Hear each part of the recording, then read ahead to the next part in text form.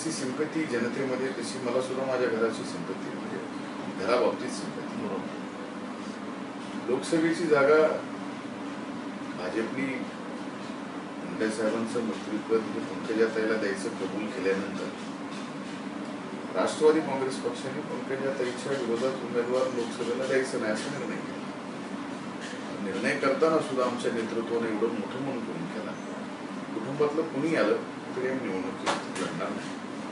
म्हणून आम्हाला जे कर्तव्य पार पाडायचं आहे साहेब गेल्याने एक भाऊ म्हणून मी ते कर्तव्य पार पाडलं कर्तव्य पार पाडण्यासाठी मी पक्षाची मदत घेतली. आणि या देशात पहिल्यांदा असं घडलं की एखादा महान नेता गेला. त्याच्यानंतर एखादा तिथला प्रमुख विरोधी पक्ष तिथली निवडणूकच लढणार नाही बाय इलेक्शनची इनफॅक्ट माधवराव शिंदे साहेबांचं उदाहरण आहे. दिवंगत नेते राजेश पायलट साहेबांचं उदाहरण की दोघेही अशा दुर्घटनेत गेले पण त्यांच्या ठिकाणी जी बाय इलेक्शन झाली तिच्यात भाजपने निवडणूक लढवली. पण आम्ही इथं नाही.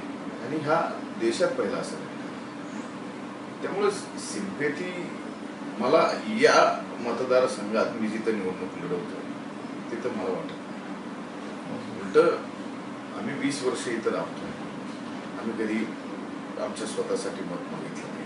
माझ्या वडिलांनी चाळीस वर्ष पूर्ण जीवनभर खस्ता खाल्ल्या साहेबांना मोठं करण्यासाठी. त्यांनी मत मागितलं साहेबांसाठी. मी मग वीस वर्ष साहेबांसाठी मागच्या वेळेस बहिणीसाठी. त्यामुळे ते एक बेनिफिट आहे. आणि खाली ग्राउंड रिलेटेड आम्ही असल्यामुळं लोकांमध्ये ही भावना आहे. किंवा एक आपला माणूस आणि कामाचा माणूस. म्हणून सहानुभूतीपेक्षा ही भावना लोकांची जास्त मला या रिस्क वाटत नाही.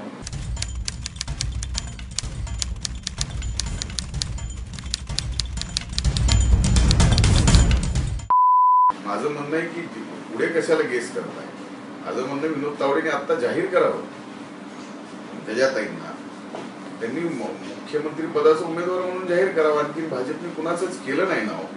आणि त्यांना जर वाटतंय की त्यांच्या कार्यक्षमता माझ्या बहिणीमध्ये मुख्यमंत्री पदाची आहे म्हणजे मला हे विधान त्यांचं चांगल्या हेतूचं आहे का वाईट हेतूचं आहे कळत नाही. कारण माझं आदरणीय मुंडे साहेब असताना कधी ते मुंडे साहेबांना तयार झाले नाहीत मुख्यमंत्री पदासाठी.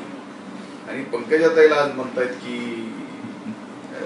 त्यांनी ती मुख्यमंत्रीच्या कार्यक्षमतेची आहे तर मग आहे तर डिक्लेअर करा ना. तुमच्या पक्षाचा तो निर्णय. त्यामुळे माझ्या म्हणजे भाऊ म्हणून तसं काही विषय घेणं त्यांना मला तर बहीण मुख्यमंत्री झाली तर आनंद आहे. पण ते करावं ना. म्हणजे अगोदरही मंत्रीपद साहेबांचं देतो म्हणून जाहीर केलं होतं. तेही दिलं ना त्यामुळं कुठंतरी याचा कठोर अनुभव भविष्यात आमच्या बहिणींना सुरू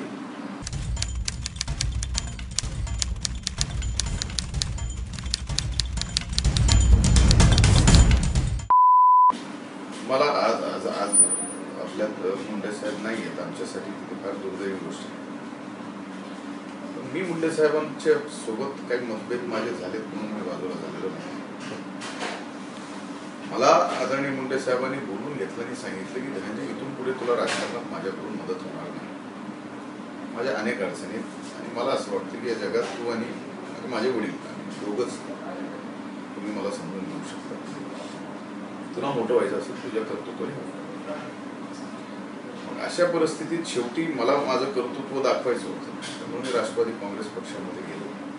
दादांनी माझ्यावर विश्वास ठेवला पवार साहेबांनी माझ्यावर विश्वास ठेवला. आणि त्या परिस्थितीत मला असं वाटतं किंवा असं काही आमच्याकडून झालं नव्हतं की साहेबांनी असं बोलून आम्हाला बाजूला करायचं. पण प्रत्येकाला आजही वाटतं की आम्ही साहेबांना सोडलं आमचे काही मतभेद झाले पण वस्तुस्थिती तिथे नाही. आणि ती म्हणजे सत्य कधी ना कधी बाहेर येतं ते सत्यही बाहेर आलं. ज्या दिवशी हे सत्य बाहेर आलं तो दिवस अतिशय वाईट होता. तो साहेबांच्या गोड दिवस गोड जेवणाचा दिवस होता. आणि तिथं रामराव ढोक महाराजांचं कीर्तन संपल्यानंतर स्वतः नामदेव शास्त्री महाराज जे भगवानगडाचे मठाधिपती आहेत, त्यांच्या मुखातून हे सत्य बाहेर आलं. आणि त्यांनी भाषणात त्यांच्या सांगितलं की हे पंडितांना असं म्हणजे आमच्या वडिलांचं हे जे कुटुंब आहे ते जे बाजूला केलंय ते स्वतः मुंडे साहेबांनी केलंय. आणि तिथं लाखभर लोक होती त्या कार्यक्रमात. आजही त्याची त्यांच्या भाषणाची रेकॉर्डिंग व्हिडिओ क्लिप्स या सगळ्या सोशल मीडियावर आहेत. त्यामुळे आम्ही त्यांच्यापासून बाजूला झालेलो नाही. तर त्यांनी बाजूला केलं. एक आणि माझे साहेब गेल्यानंतर जसे माझ्या बहिणीशी फार काही चांगले संबंध त्यांच्याकडूनच नाही. त्याच्यामुळे स्वाभाविक आम्ही कितीही प्रयत्न केला तरी त्यांनी ठरवलं की आमच्याशी चांगलं वागायचं नाही. त्यामुळं आपलं जे काम आहे ते आपण त्या पद्धतीने करतो. त्याच्यामुळे आता साहेब होते तोपर्यंत सगळ्या गोष्टीचं नातं होतं. आणि त्यांनी साहेब गेल्यानंतर नातं ठेवलं नाही. त्यामुळे आम्ही त्याच्या पलीकडे कधी विचारच केला नाही.